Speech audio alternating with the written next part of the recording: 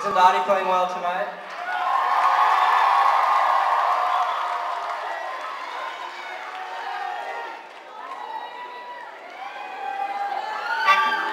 In the right light, she's almost handsome.